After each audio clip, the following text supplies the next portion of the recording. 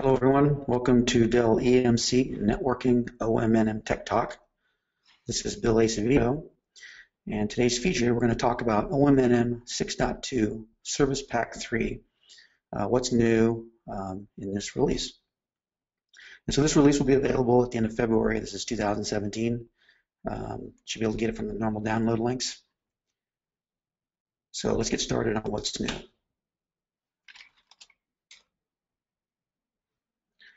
New features devices supported in 6.2 Service Pack 3.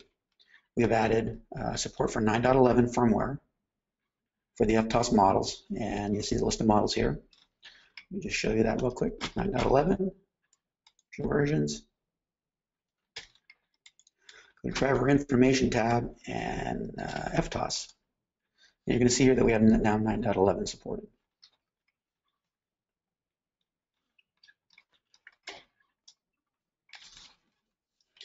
Um, driver support has been added in uh, um, this release for a new model. it's the N3132PX model. And I'll show you that as well.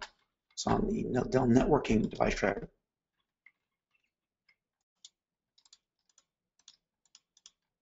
And there's the 3132PX. Okay.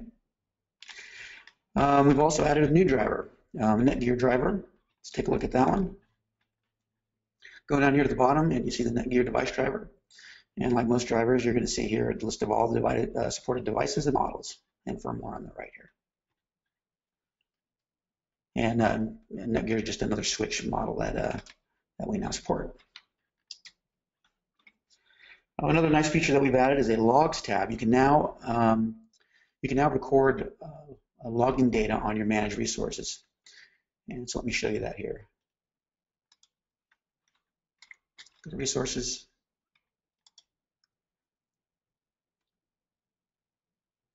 And whenever you right click on a device, you're going to be popped up with a page here. Go to details.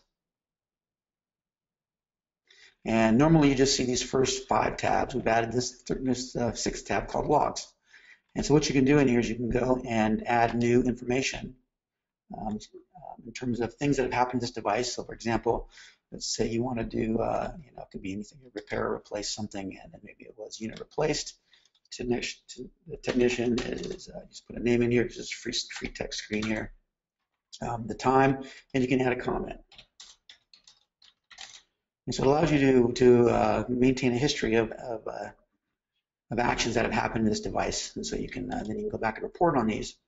On reports, I've preceded a report for the service logs. Um, there isn't one right now in Service Pack 3. In the next release, we are going to precede this report, so you'll have it. You don't have to generate it yourself.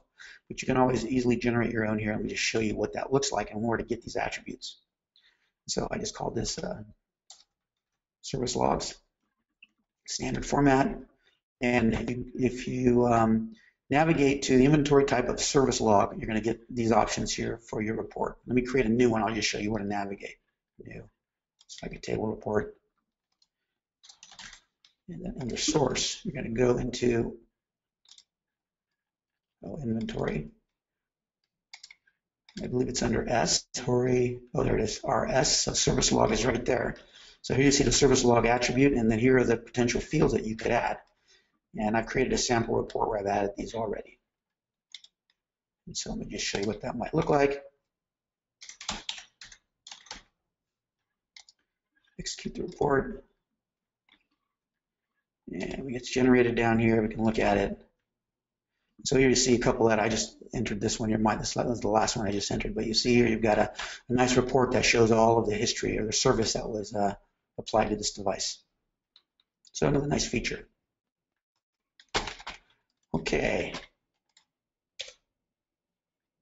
Um, some issues have been resolved in uh, Service Pack 3.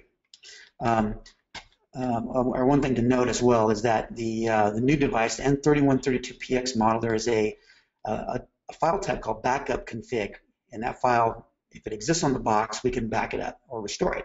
The problem is this device doesn't come with a predefault, predefined uh, value for this file, so you have to create it. So this release note here tells you how to recreate that, and it tells you you must be created first um, in order to do the backup to a backup config file. Um, to make to get around this, there's a couple ways you can fix it. Um, the, user, the end user can create this backup config file manually on the box. That's one way. Um, or you can execute a copy running config to backup config, and that will create the file. Or you can do a copy startup config to backup config, and that will create this file so that you can you can start backing it up. So just be aware that that needs to be there before we can actually back anything up on that on that particular file. Okay. Um, there was a permissions issue that was identified in the license. Um, you may see this error where you do not have permission to view this application message. Um, and so it most likely means you have an expired feature in the license. And this can happen in a variety of ways. And again, in, in, the, in the, next release, it should be resolved. Um, you won't have to do this, but um, in order to get around this problem, um, on the VM, you can reapply the license called vmlicense.xml, and that's in the home Synergy directory. Um, and you can just use the standard license importer um, command, or from the GUI, you can reapply it if you can get to get to it from the GUI. Um, then you need to reapply the Dell-generated SKU license. So the VM license basically lays down the base license again, and then the, the Dell-generated SKU license lays on top of it the RTM that's been purchased in the subscription. If you're not using the virtual appliance, the license is just the default license.xml file that comes with the package. And again, lay that down and then apply the Dell-generated SKU license um, if you receive one. This won't happen all the time, but if it does, this is one way to get, this is one way to get around it. And then down here at the bottom here, in some cases we found that on OS systems, even though you're the administrator in the administrator group, if you try to install to a mapped local drive, it will fail. And this is because in some in some cases um, it doesn't have, even though you're administrator, you don't have sufficient privileges on that on that drive. And so um, uh, just be aware of that. Um, so there's a couple ways to fix it. You can, uh, um, well, one way to fix it is to reset the permissions on that um, on that directory. And so we'll go to the next step here.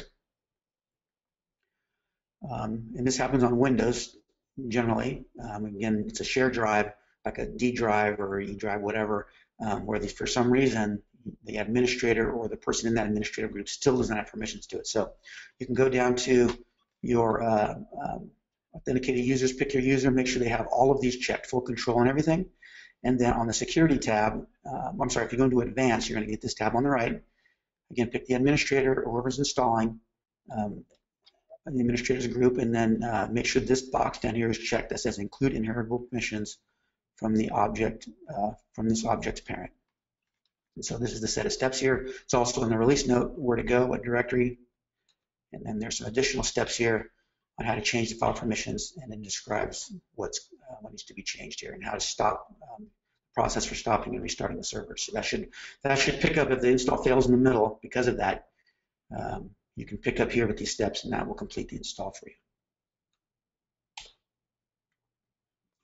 Okay, that really sums it up for Service Pack 3. It was just a light release and uh, with a few key items. And um, um, I hope that was helpful, and thank you for joining us.